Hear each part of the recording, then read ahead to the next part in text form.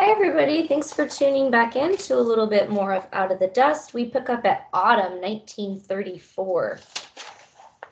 Hired work. My father hired on at Wireless Power on Tuesday, excavating for towers. He said, I'm good at digging, and everyone who knows about our hole knows he's telling the truth. He might as well earn a couple dollars. It doesn't look good for the winter crop Earning some cash will make him feel better. I don't think he'll drink it up. He hasn't done that since Ma. It's hard to believe I once brought money in too, even if it was just a dime now and then for playing piano. Now I can't hardly stay in the same room with one, especially Ma's. It's October of 34. This is November of 1934. Almost rain. It almost rained Saturday. The clouds hung low over the farm. The air felt thick. It smelled like rain. In town, the sidewalks got damp. That was all. This one's called Those Hands. This is still November of 1934. The Wildcats started practice this week. Coach Albright used to say I could play for the team. You've got what it takes, Billie Jo. Look at the size of those hands, he'd say. Look at how tall. I'd tell him just because I'm tall doesn't mean I can play basketball or even that I want to. But he'd say that I should play anyway. Coach Albright didn't say anything to me about basketball this year. I haven't gotten any shorter. It's because of my hands. My father used to say, why not put those hands to good use? He doesn't say anything about those hands anymore only Arley Wanderdale talks about them and how they could play the piano again if I would only try. This one's called Real Snow. The dust stopped and it snowed. Real snow. Dreamy Christmas snow. Gentle, nothing blowing, such calm like a fever. Wet, clinging to the earth, melting into the dirt, snow. Oh, the grass and the wheat and the cattle and the birds, and my father will be happy. That was November of 1934. This one's called Dance Review.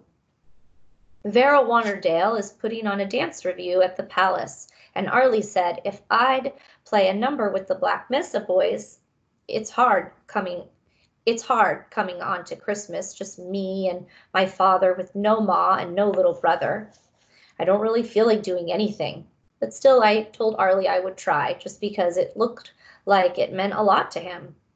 He said he'd be dancing then, so he needed a piano player and Mad Dog would be singing, and he knew how I'd just love to be connected with anything Mad Dog's doing. The costumes Vera ordered come all the way from the city, she said.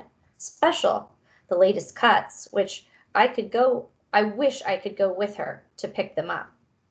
During rehearsals, Mad Dog comes off the stage after his numbers and stands by the piano. He doesn't look at me like I'm a poor motherless thing. He doesn't stare at my deformed hands.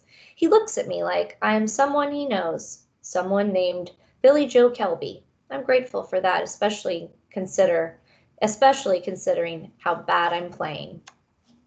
That's December of 1934. So is this one, Mad Dog's Tale. Mad Dog is surrounded by girls. They ask him how he got his name. He says, It's not because I'm wild or crazy. It's not because I'm a wild or crazy untamed boy, but because 14 years ago, when I was two, I would bite anything I could catch a hold of. My ma, my brother, Doc Rice, even Reverend Bingham. And so my father named me Mad Dog, and it stuck.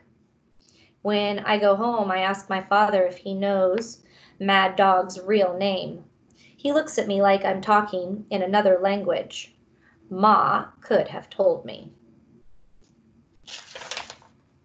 This one's called Art Exhibit. We had an art exhibit last week in the basement of the courthouse to benefit the library.